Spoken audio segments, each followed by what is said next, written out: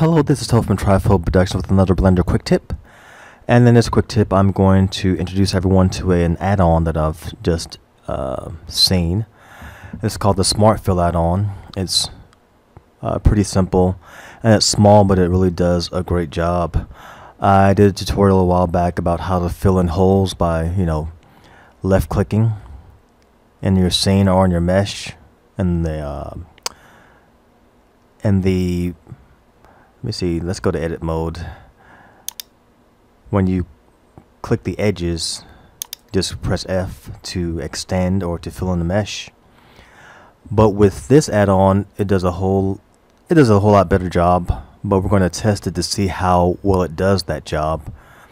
Uh, in this scene I've got a cube here and we've got uh, I've got some mesh part of the mesh missing which is the T it forms letter T for trifold. And here I've got a cone cube cone and this is also missing uh, part of the mesh which forms a T. And then we have this I have this uh, extended cube here that I stretched along the z-axis and curved a little bit. Part of that's missing and the other test would be on Suzanne's eye here. Which you can see the eyes part of the eye is missing uh, but this add-on it's it's not free. It's a paid add-on the smart fill add-on. But it's just three dollars. Uh, let me navigate to where uh, the website is. And I'll leave a link of this add-on in the description below this video but it's three dollars. And and for three bucks I know people a lot of people watch the videos from around the world and they've complained before that hey three dollars might might not be much to you but it's a lot to us. But you know it's still you know three bucks. And I don't know if there's a free version but this one is three dollars. And you know if you really want it you'll be able to acquire it. And once you've gone through the normal process of downloading it uh, into Blender which is the whole edit uh, preferences and you, you install it. I've done this before but you click on install.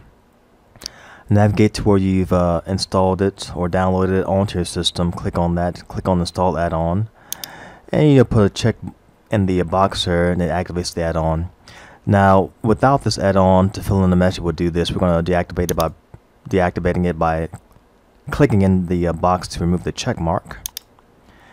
And I'm going to go over to the uh, first cube here press one on my keyboard scroll up on my mouse and I'm using Blender 2.82 so this uh, version the add-on works with every version of Blender for 2.8 so I'm going to I can change the uh, viewport shading here so we can see a little bit better.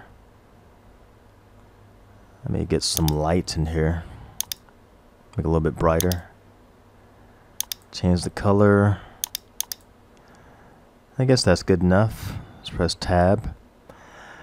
Now I have to be in edge select mode so we're going to select all the edges. And we're going to left click on that edge and have that selected and hold down shift left click all around the gap. And I've seen when you left click on the outside of where the edge is it selects it a lot easier. Can left click all around here select that. Now this is with the add-on not activated so press F on the keyboard. And it just makes a you know a flat fill-in so to speak now this is fine because this is a cube. If it was something that had, you know, curves to it, this wouldn't work at all. But we're going to deactivate that or redo that by pressing Control Z on our keyboard and keep our selection there. We're going to activate the add-on again. I think the window's still open. Okay, it is. So put a mark, a check in the box and close that out. And watch what happens when we press F again. Now it fills it with quads, which is a lot better result. Now it works great on flat surfaces, but let's see how it works on surfaces that are curved here. Let's deactivate that. Let me hold down shift and left and hold down my mouse button and navigate to this next uh, shape here, which is this cube. Let me scroll up, press tab on that, same process. Hold down shift and left click around going to select the gap in this mesh and I'm wanting to do this live so you can see how it actually works and get a bit better feeling for how it works, we're, we're testing the add-on. Excuse me. Now we have all that selected. Let's press F. Let's see what happens with the curved uh, surface. F again. And it does do that, but there's a way to fix that. Excuse me again. it's the weather. Get a drink of water.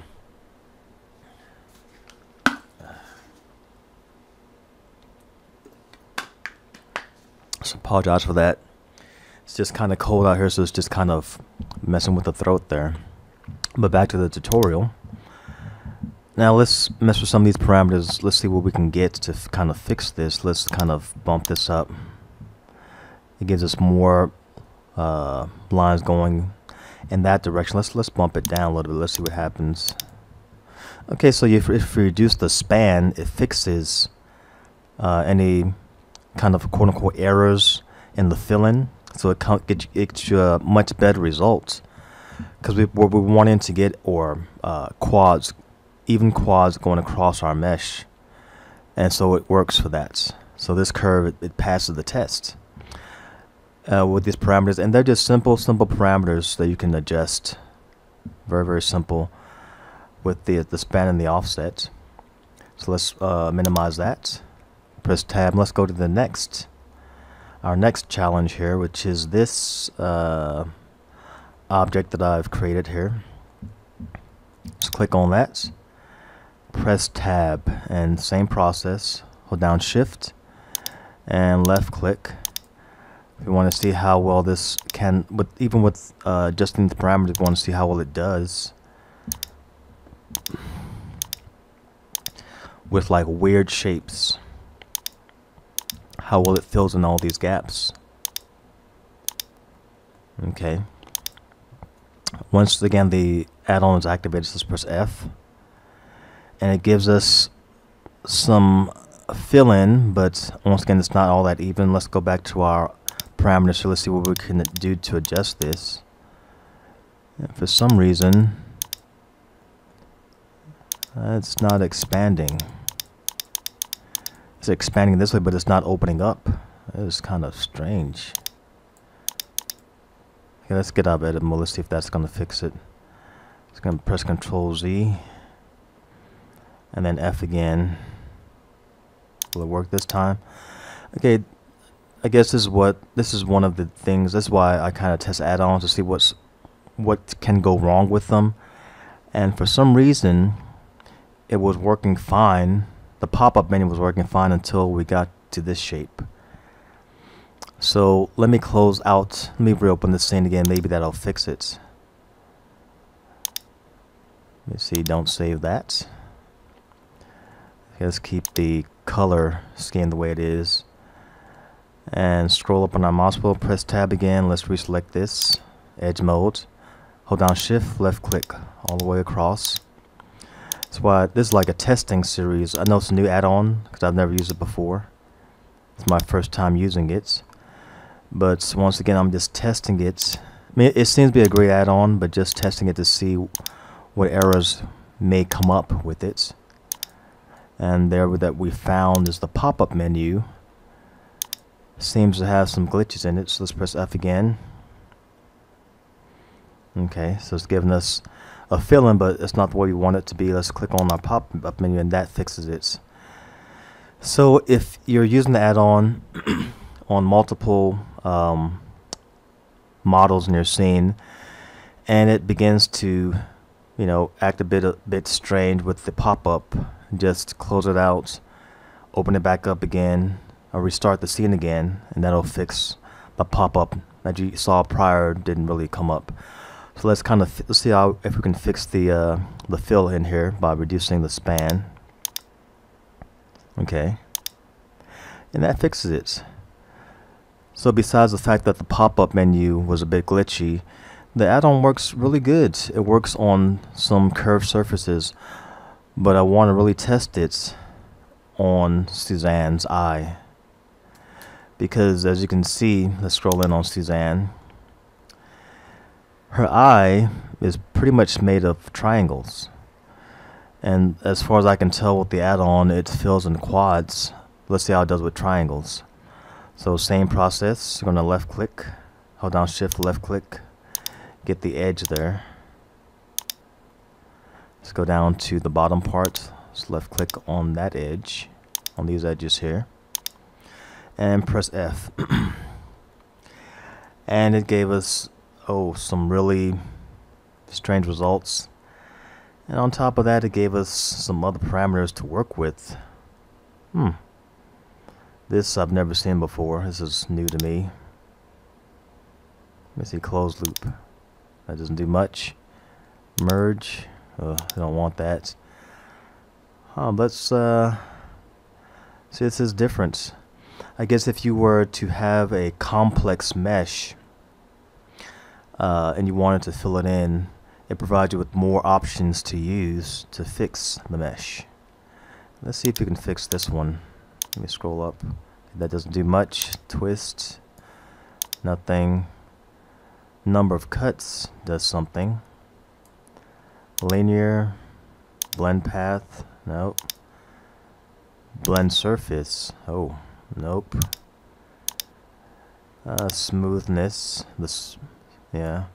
Profile factor. Well, I guess this is its limits. I guess. Uh, because we're using all the parameters here, but it's not really making much of a difference in filling in these triangles. So I'm guessing, this is the conclusion that I've come to, but I'm guessing that based upon our experiments with this add-on, it works on quads great. It's great for quads, but when it comes to triangles, not so much. I mean, it, it provided with parameters to kind of fix it, but as you can see, we've been working with these parameters that have been provided for us, but it still hasn't fixed the issue of filling in these uh, this hole in Suzanne's eye that is made up of triangles. So yeah, so this uh, the Smart Fill add-on, three dollars, works great with um, quads that we as we've seen in these three first three examples here but not so great with triangles. So that's uh, today's Blender quick tip. Smart fill add-on is great for quads, but not so much triangles. And once again, I really think hopefully hopefully this add-on, uh, this uh, tutorials has uh, helped those of you who have been watching, have watched it, and and you should purchase that on. It does a good job with quads. It helps you fill in quads, but trying you'd have to pretty much um, you'd have to pretty much uh, retopologize it to use it on a triangle based uh, mesh to turn the triangles to quads. Then, if you need to do any fill-ins, fill it in with the Smart Fill add-on. And once again, uh, that's today's quick tip, Blender quick tip, the Smart Fill add-on. And once again, I appreciate you guys who have watched the video. Thank you guys who have, have subscribed in the past to the uh, to, to the channel, and you guys who are subscribing now, and those of you who will subscribe in the future, tongue twister. And I will see you guys on the next one. All right, adios.